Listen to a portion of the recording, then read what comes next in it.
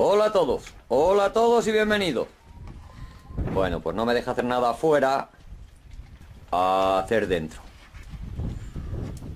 Y quiero hacer, porque tengo, tengo azadas, tengo azadas, pues oye, de varios colores, modelos y tamaños, pero esta que yo quiero, o que creo que sería la más ideal, pues no tengo. Voy a intentar hacerla. Una azadita, escabuche, escabuche creo que también se llama por ahí, tiene muchos nombres. Eh, aquí se le llama azada, pues bueno, pero esta, este modelo específico para, para sembrar patatas. Eh, cojo del, del trocito de... No es acero, esta chapita no es acero, no tiene mucho acero, pero me va a servir perfectamente. Tiene de ancho 12 y medio, bueno, pues 12 y medio. A 6,2 aproximadamente. Hacemos un eje, abajo igual, a 6,2 y tiramos las diagonales. Aquí abajo le dejo 2 centímetros a partir del eje para cada lado, para que no me quede muy en punta, porque muy en punta no me interesa tampoco. Me interesa que la parte de abajo del surco, donde va a ir puesta la patata, pues que tenga un poquito de anchura, no demasiada. Con 4 centímetros yo creo que está bien. 20 que tenga de, de largo la, lo que va a ser la hoja de la, de la azada. Bueno, pues ahí vamos con la idea. Lo tengo cortado más o menos, la forma un poquito en bruto. Esta chapa es de esas típicas por la formita esta, en forma de hoja antideslizante, tiene ahí como un, como un pequeño relieve. Bueno, pues le he pasado el disco de derbaste y se lo he quitado un poquito. Tampoco lo voy a dejar ahí niquelado, niquelado, ¿eh? pero le he quitado un poquito eso porque luego para limpiarla y tal y cual es mucho mejor. Vale, pues ahí la tengo, más o menos. Le falta un ojo, evidentemente. Un ojo porque tendrá que llevar un mango. La vamos a sujetar con algo. Con esta punta de pico y aquí con este trozo de tubo le pondré el ojo. Esa va a ser la idea, más o menos. Para que nos encaje mejor, nos ajuste mejor. La, punta del pico que le vamos a poner aquí, que va a ser el suplemento donde va a ir el ojo, le hacemos una ranura ¿eh? y que ajuste ahí por los dos lados.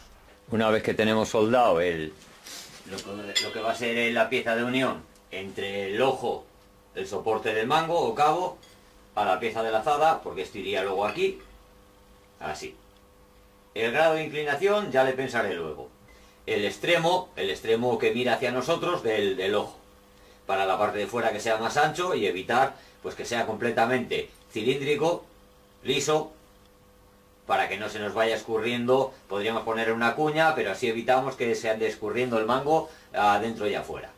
Una vez eh, arreglado, soldado, repasado, limpio, tal y cual, cortado la medida, bueno, pues el resultado será, será este, eh, por este lado más ancho y por este más estrechito.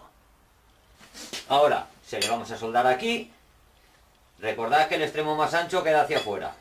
Como no tengo, no tengo yo una herramienta específica para comprobar si el ángulo es el correcto, eh, el ojo sube recto, etcétera, etcétera, pues la mejor manera es meter un palito, cualquiera, eh, y comprobamos.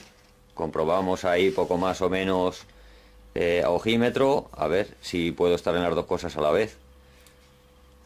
A ver si puedo estar ahí, ahí más o menos. Eh, comprobamos que suba recto el ojo. Está un poquito quizás revirado hacia la derecha. Bueno, pues le giramos un poquito, le centramos y por ahí más o menos estaría. Una vez que lo tenemos claro, ya podemos soldar tranquilamente. Luego si queremos repasar, pues repasaremos. Listo. Casi. Le falta un mango. mango de madera para poder trabajar. Así que nada, a por él. Vale, pues listo. El que quiera pintarlo que lo pinte. Y el que no, pues que lo deje así. Yo en mi caso, ni lo voy a pintar. Porque la herramienta que se oxida es porque se trabaja poco con ella, mayormente. Porque si trabajas con ella, eh, lo normal es no tenerla oxidada, tenerla siempre bien arregladita. Mejor que la otra cuadrada, que mueves el doble de tierra, ¿para qué? Y ah, qué perro, pues no trabajar. Bueno, llámalo como quieras. O inteligencia para trabajar, lo justo. Cada uno que lo interprete como le parezca. Pues nada más que eso. Espero que a alguien le sirva. De ayuda o de entretenimiento, ya sabéis. Hasta luego.